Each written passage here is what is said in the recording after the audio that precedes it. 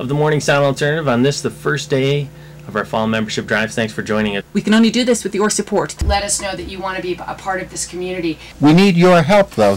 You can help. Call now.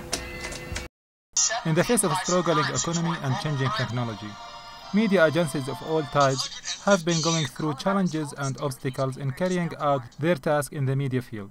Some could not survive and tragically collapsed. Basically, what happened was the media was in this incredible state of change. Um, it had been very slow to embrace the internet, and it was getting killed by places like Craigslist with their online advertising.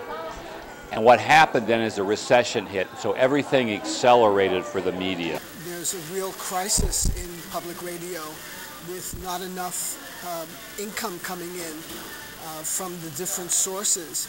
Uh, the government's share of budgets for most of public radio stations has been declining for many, many years. There's been a, a steady trajectory down reducing the amount of money. This is a time for journalists to be both scared and probably almost in a sense eager to see what the next generation of journalism is going to be about.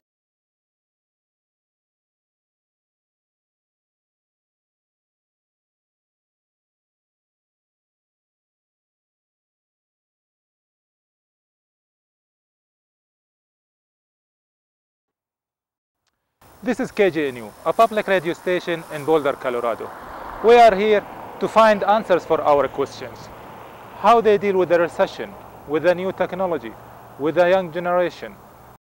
KGNU is an independent, non-commercial community radio These countries that you've just been visiting, Lebanon and... We mentioned the... Uh, KGNU broadcasts a diverse mix of music, news, and information 24 hours a day. The first aired was in May 1976. KGNU has some financial issues that aren't related to the recession. You know, we we have we're trying to do three things right now within our budget. One is pay to run the station, you know, the operating budget. Two is pay off debt on uh, signal acquisition that we undertook five years ago when we purchased an AM frequency in Denver. We still owe a lot of money on that, and so we have loan payments to make for that. And then we're also in the midst of a capital project to upgrade our FM frequency. Uh, we saw an we want to give opening you these thank you gifts. We about want you to, a uh, year and a half, almost two years ago, KGNU. to increase the FM power, uh, which is something we've wanted to do for our entire history. In order to do that, uh, we needed a new transmitter and an expensive new antenna. So we're raising money for that and trying to complete that project by the end of this year. Whether you're into music, movies, The revolution games, of the technology iPod Touch is the and the new generation. It is not like the old days, picturing people in home, listening to series, or to the press by the president. You know, KGNU for the last several years has been challenged by more competition, you know, and that competition comes from several radio stations in the area, but also from the internet. There's a whole, I think, probably two generations now of young adults who probably have grown up not thinking about radio as a delivery system for audio. You know, uh, it's not even in their minds, many of them. It's, it's the internet. And so we have to be there to serve them and to let them know that we have amazing music programming and in-depth local issue discussions and uh, all the many things we offer. KGNU radio station working to increase the base of the listeners. We have been granted the uh, permission by the FCC to increase our wattage at our FM transmitter. We currently broadcast at 1300 watts at 88.5 FM, and they've granted us uh, permission to increase that to 3000 watts with a little bit of a caveat that um, we have to buy a special antenna for the FM transmitter so that this 3000 watts does not reach into a certain part of uh, Estes Park.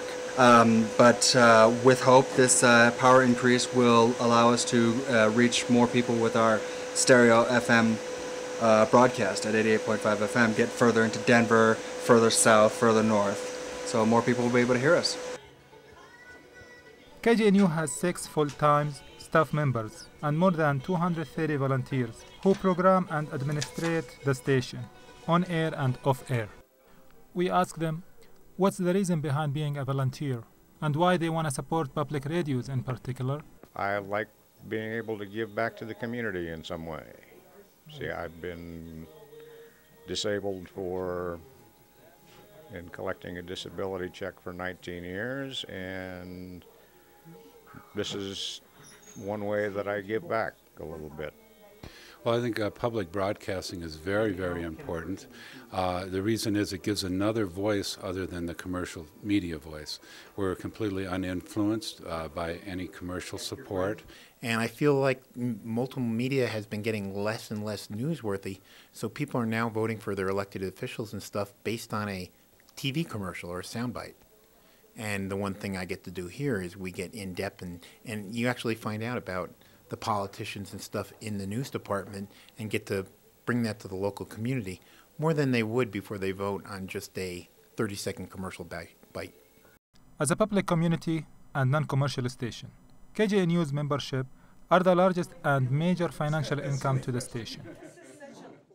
We have five major revenue categories membership, which is the people who call in during our on air fundraising drives and contribute as individuals to the station. That's the largest share of money. Um, that's the majority of our budget comes from individual listener member gifts. That is um, at least holding steady. It's not growing, and we would like it to be growing. So we have some people who have called up and canceled their memberships because they lost their jobs and they can't afford it. But we have other people who are coming in as new members, and you know, as I say, it's basically holding steady. We wish it was growing, but at least it's not declining, right? In this in this environment, we're happy to be at least holding steady with membership. What, what do you, what do you usually like to listen to? I'm just saying, email him. The other major fund categories are the business underwriting declined 50%, the special event declined 40%, major giving declined 10%, the private foundation declined 60%.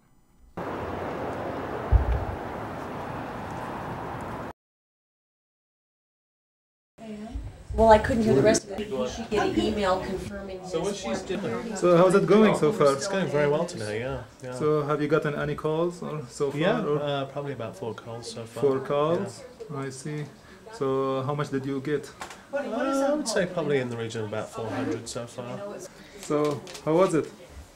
So You far? know, Huh? it's been great. It's been great. Right. I thought we're having recession here. No. No, we got bagels. we got Vegas. so how, uh, like how did you get? How much did you get? You know, I just got a $200 call from a very generous listener.